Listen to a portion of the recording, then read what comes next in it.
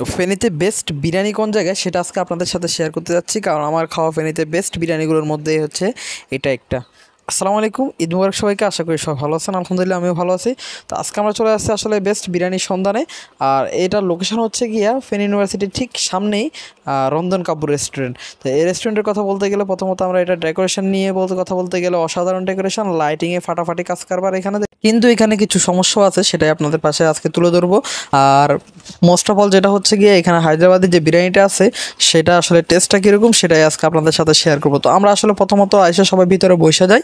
আর দেখতে পাচ্ছেন এখানে বসার জন্য এনাফ পরিমাণ জায়গা আছে। জায়গা থাকা সত্ত্বেও যেহেতু আজকে মানুষ একটু বেশি, তো তাদের শীতাতপ নিয়ন্ত্রিত যেহেতু ব্যবস্থা থাকার পরেও আসলে অতিরিক্ত গরম লাগতেছিল। কারণ দেখতে পাইতেছেন, আজকে যেহেতু ঈদের রাত আর মানুষ আসলে ভরপুর ছিল, আমরা ছাড়াও অনেক মানুষ এখানে আসছে। তো আমরা আইসা আসলে এখানে কিছুক্ষণ বসা, বসার পর আমরা আসলে খাওয়ার অর্ডারটা করে দিই। আর হায়দ্রাবাদে বিরিয়ানির আমরা অর্ডার দিই। যেহেতু আমরা খাওয়ারটা অর্ডার দিচ্ছি আমাদের প্রায় আধা ঘণ্টার পর্যন্ত সময় লাগবে। আর এই তো খাওয়ার মেনুটা দেয়, অনেকক্ষণ ধরে যাচাই বাছাই করে হায়দ্রাবাদি বিরিয়ানিটা নেই।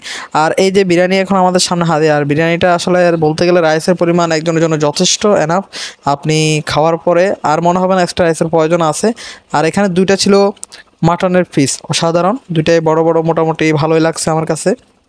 আর ছিল একটা জালি কাবাব জালি কাবাব সম্পর্কে একটু পরে আসতেছি। আর পাশে ছিল আমাদের এখানে চাটনি ছিল অ্যান্ড দেন ডিম ছিল, আর সালাড ছিল। আর এই পুরো প্লেটারটার দাম ছিল আমাদের এখানে তিনশো ষাট টাকা। তো দাম অনুযায়ী মোটামুটি প্লেটারটা আমার কাছে রিজনেবলে মনে হয়েছে। আর এই তো দেখতেছেন, গ্রামের চাচাতো ভাই যখন প্রথম চামচ দিয়ে খায় জালি কাবাবটা সে চামচ দিয়ে খাইতেছে। অলরেডি সবাই খাওয়া দাওয়া শুরু করে দিচ্ছে। এখন আমি আসলে খাওয়া দাওয়া শুরু করে দেবো এবং জানব যে আসলে টেস্টটা কীরকম আসলে হায়দ্রাবাদি বিরিয়ানির আপনাদের সাথে সেটা শেয়ার করব আর কীরকম ছিল। তো এই আসলে হাত দিয়ে খাওয়া শুরু করে দিচ্ছে চামচ দিয়ে পারতেছিল না।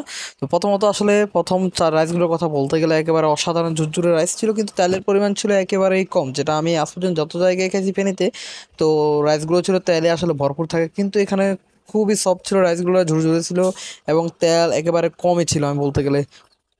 আর এই যে মাংসের পিস দুটো সলিড ছিল আসলে হার্ড মাংস থাকলেও এর পরি- পরিমাণে গোস্তের পরিমাণটা ভালোই ছিল যা আমার কাছে খুবই ভালো লাগছে।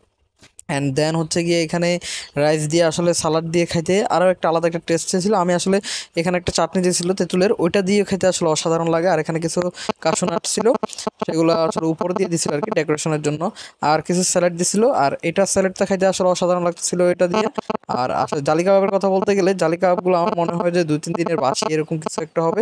ওভারঅল জালি কাবাব ছাড়া আমি হায়দ্রাবাদি বিরিয়ানি দশে দশে দিব, অসাধারণ ছিল আমার কাছে।